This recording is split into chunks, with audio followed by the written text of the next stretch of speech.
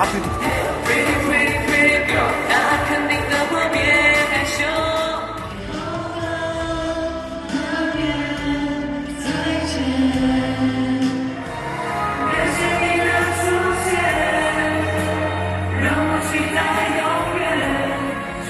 今年的跨年演唱会上，TFBOYS 的三位成员呢将会一同亮相，为大家带来精彩的表演。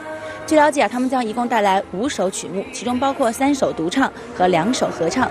这两年，随着三位成员的陆续成年，他们也开始步入大学生活，同时需要兼顾学业和工作，让他们变得非常的繁忙，合体的次数也越来越少。所以，相信呢，在今年的跨年演唱会上，他们的出现将为观众们带来惊喜。从2013年出道开始，团体组合 TFBOYS 几乎每年都在湖南卫视跨年。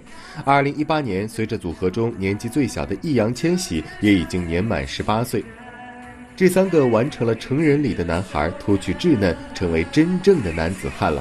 今年的跨年演唱会也将是他们集体成年后的首次合体演出。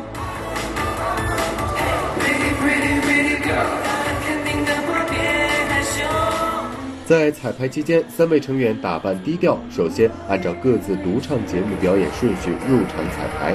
因为前期练习非常充分，每人的独唱环节都只彩排了两遍就完美通过。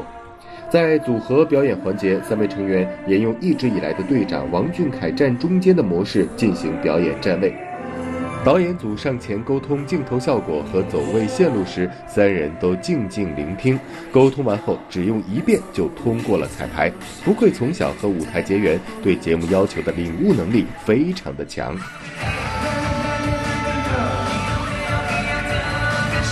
今晚全体成员成年后的第一次登台演出，会和男孩时期的他们有什么不同？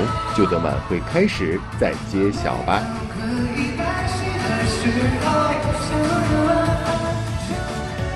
安娜，知否，应是绿肥红瘦。